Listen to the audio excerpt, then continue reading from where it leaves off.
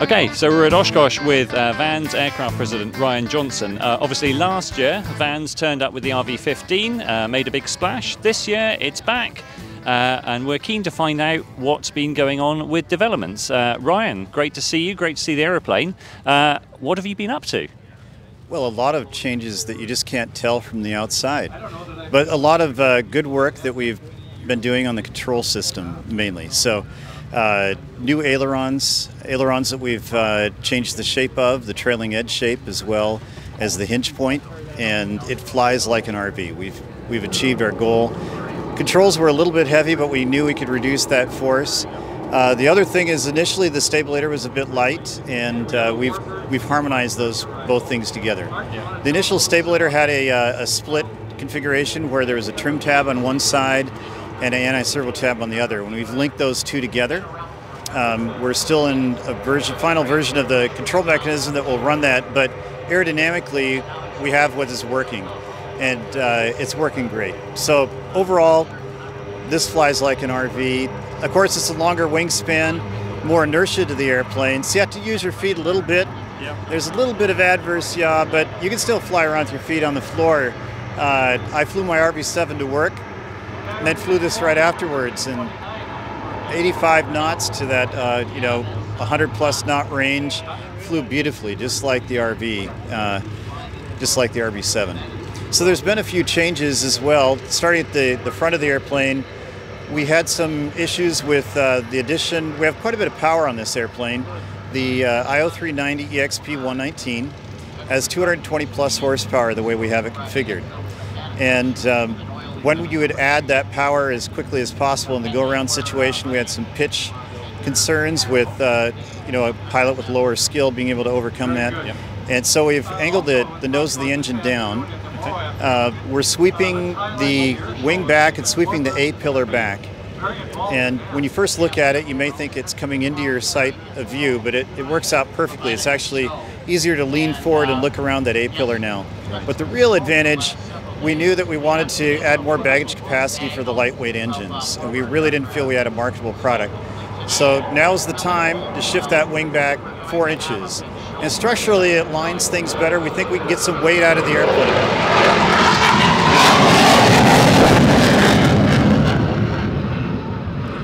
It's Oshkosh. but we're looking for that 180 horsepower to 220 horsepower range uh, for engines.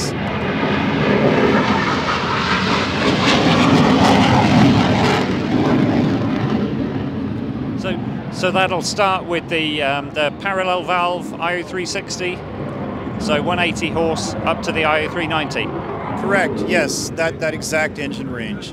So we'll retain uh, the large baggage area that we have. You know, uh, we have a, a, baggage door that, that works great. The strut's actually going to sweep forward slightly from where it is now, and we're accepting the fact that it's going to raise the loads on the wings just a little bit. Uh, we want to be able to open that main door and let you put things easily in and out of the main cockpit with the seat slid all the way forward. Uh, we're in the final version of the airplane inside the computer. We haven't cut parts for that yet. Um, so we're just refining the, the final version of the airplane. But as for this version, the aerodynamics, we solved the aerodynamics. One thing uh, that we learned early on was that up where your legs are, now that we have an A-pillar, we've never had to deal with that before. The airplane, I brought it in a little bit tight.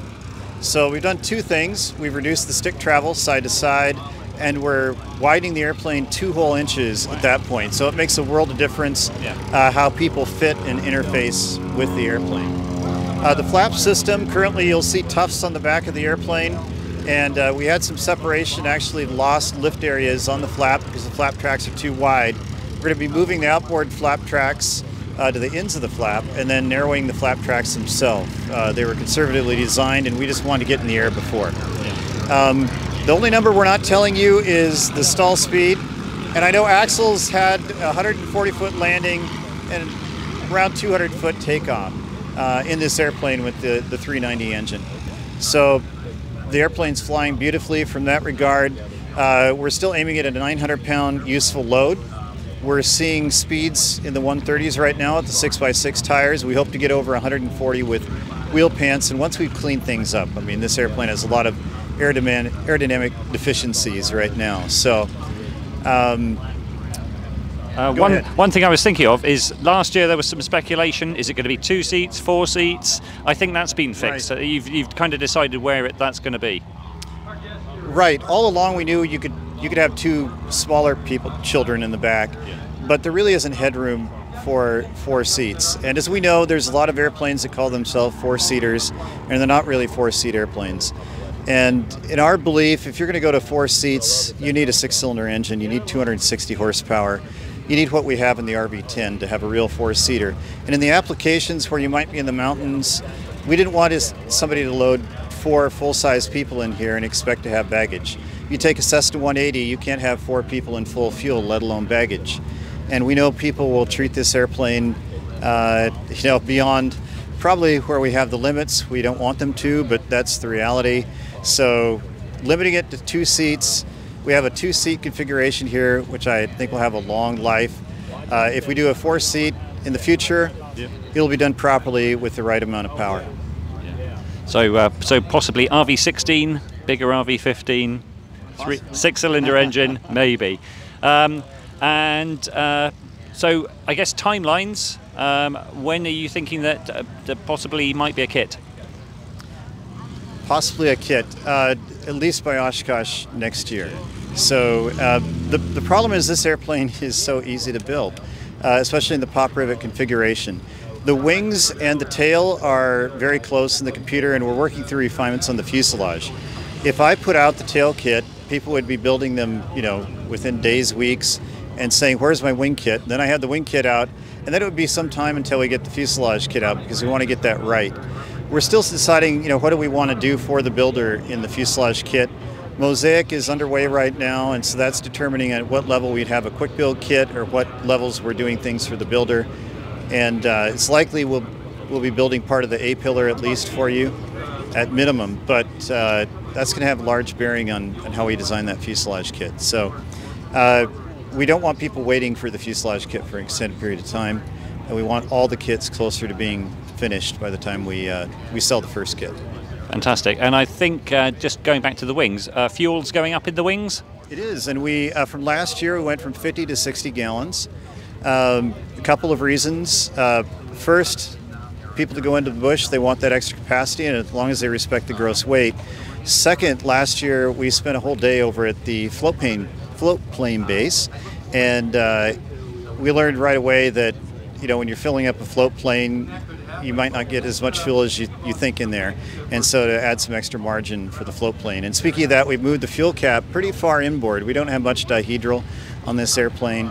Um, and that, that fuel cap can come in inboard. So you could stand here right on the main tire, the inboard part of the strut, and easily fuel the, the airplane in the float plane application. Fantastic. Or with bags, or with bags in the bush. Yeah. Uh, well, fantastic, Rian. Uh, it's very exciting to see it again. Exciting to hear about uh, everything that's going on with it, uh, and we look forward to uh, to seeing it uh, hopefully next year, maybe. Okay, I think from here we'll turn it over to Axel, and he can tell you it's easiest tail dragger to fly in the fleet. These gear are amazing and and uh, yeah, get some interviews here with Axel on, on how it flies. Okay, so we're with Axel Alvarez. Axel's the uh, test pilot at Van's and has flown the RV-15 the most. Axel, fantastic to see the aeroplane here. Um, obviously, you've got the most hours on the RV-15. I am the how, lucky person. How has it changed from first flight to where we're where you're, where you're at now? The uh, the biggest changes are in control forces, uh, some of the handling. So at the beginning, our control forces for pitch and the rudder were really light, uh, similar to what you would expect in an aerobatic aircraft. This being more of a utility type aircraft, we wanted it to be uh, stable, a little bit more feedback on the controls. So we went through a series of flight tests to increase those forces. Uh, having a flying tail that makes it uh, complicated to get that, that feeling just right, the RV feeling right, right? So we're looking for that RV feeling. Everything harmonized, light forces, but yet stable. So we went through a series of changes on the tail to increase the forces and increase the stability of the aircraft, the whole airframe. The rudder was also really light in uh, in forces. So when I would put my foot, just rest my foot on the pedal, uh, that would be enough to get the ball going the wrong direction. So we knew we needed to work on that. We went through a series of changes there, and we actually removed the counterbalance altogether to get the forces closer to each other. So now the, the aircraft as it sits, the forces are what we would call the RV feeling. Everything harmonized, everything close to each other, where there's not a lot of deviations between roll and pitch uh, based on speed. And it's stable, yet a very maneuverable aircraft compared to where it started. Okay, and uh, and during testing, I mean, what sort of uh, you know, what sort of things did the aeroplane try and teach you? did it with any any any moments where it caught you unawares?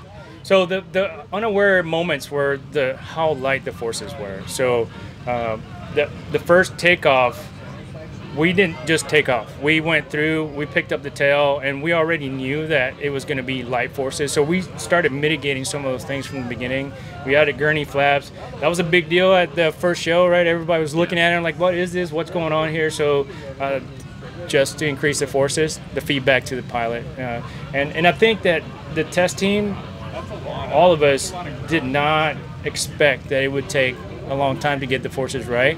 Uh, but that was a complex thing that uh, maybe out of everything, maybe that's the one thing that we underestimated because we spent a lot of time on that to try to get it just right. And, uh, and Rian, before the vi- before the video started, shared with me that uh, he said everyone's had a botch landing in this, even even um, even Axel. What what did you learn from that? So that that is a that is a really, really good uh, topic to speak about. So botch landing, right? So we all as pilots have a landing that's not perfect, right? Uh, whether we want to admit it or not, right? So the, the thing with this aircraft, the way the landing gear is designed, the way that the, the aircraft behaves, if you make a bad landing, instead of power and trying to get all this stuff done, what we do is we literally bad landing, grab the stick, this hand, grab the stick, hand on here on the throttle, and you just pin it back and you just wait. And you wait and you wait and you wait, and the energy dissipates until no energy, and then it lands. So a normal landing, uh, what I usually do is I set the attitude, I pick where I'm going to land, pull the power, and I just stall it on top of the runway, and it's just done flying. And then no brakes, you just taxi on out. Right, so uh, the, the difference there is if it's a bad landing, just hold it, keep what you got, don't do anything crazy. Just hold it, and it'll settle down on its own. Fantastic. And I guess my last question to you: Are you going to build one? Do you like it? Absolutely. Uh, I am building one. It'll be building two, right? So this one, a couple of us built. My wife is really interested in this. She's ready for it. Uh, I keep telling her she's going to have to wait, just like everybody else. But we will build one, and uh, it will be our own. So we're looking forward to, uh, you know, we designed the door so we get a dog in and out of it. Uh, so we're looking forward to put our dog in and out of it. We're looking forward to go put it on floats and go do that. So we're, we're really excited about it. So we want our own and uh, it's nice to have the factory one, but we definitely want our own. Axel, thanks very much, and uh, best of luck with uh, with uh, everything that uh, goes on to get you to uh, Oshkosh next year with the with the conforming prototype. Yeah. So that next year, that the hopes is that all these stickers that you see over the airplane, they're done, and you see something that you would be able to purchase yourself. Fantastic. Thanks very much. All right. Thank you very much. See you. Okay, so uh, uh, AirVenture Oshkosh with uh, Rian Johnson, Chief Tech. Uh,